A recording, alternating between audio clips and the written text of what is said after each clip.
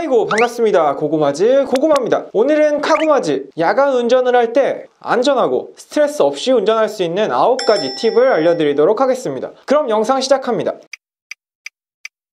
야간 운전은 특히 주의를 더 기울여서 해야 하는 운전입니다. 운전자는 야간 운전이 갖고 있는 위험성에 대해서 절대로 과소평가해서는 안 됩니다. 야간 운전에 겁먹을 필요까지는 없지만 밤에 운전하는 게 낮에 운전하는 것보다 더 위험하다는 것은 반드시 기억하고 있어야 합니다.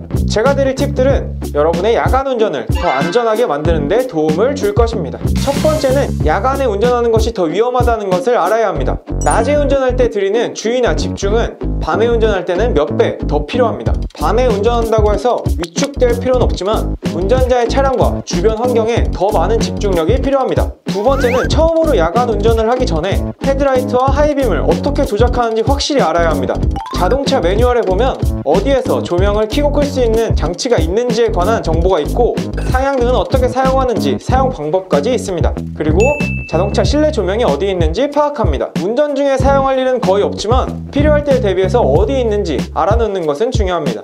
세 번째, 야간 운전을 할 때 도로 표지판이 반사된다는 것을 알아야 합니다.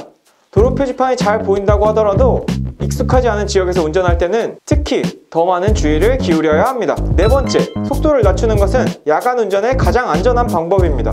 헤드라이트가 있다고 하더라도 야간에 도로 전방 상황을 파악하는 것은 어렵습니다. 낮에 운전할 때보다 반응 속도가 늦어지기 때문에 속도를 낮추는 것이 안전운전에 필요하다고 할 수 있습니다. 다섯 번째, 상향등을 사용합니다. 도심이나 가로등이 많은 구역에서는 헤드라이트만으로 운전자의 시야가 충분히 확보될 수 있습니다. 하지만 교외 지역이나 가로등이 많지 않은 지역에서는 도로를 멀리 보기 위해서 하이빔이 필요할 수 있습니다.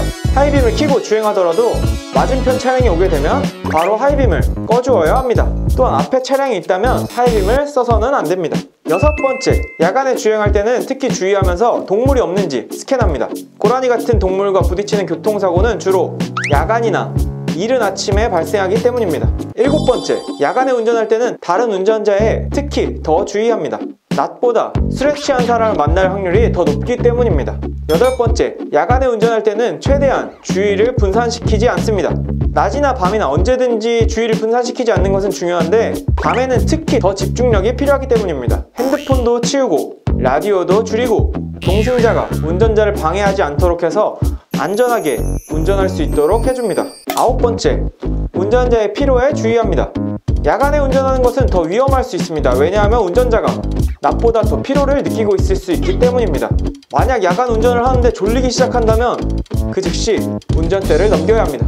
그리고 다른 운전자들도 조심해야 합니다. 다른 운전자들도 일을 마치고 피곤한 상태로 운전하고 있을 수 있기 때문입니다.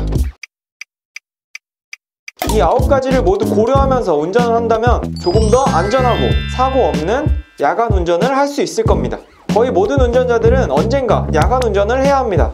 야간 운전을 안전하게 하는 방법을 알게 되었기 때문에 조금 더 즐거운 운전 경험을 할 수 있게 될 겁니다.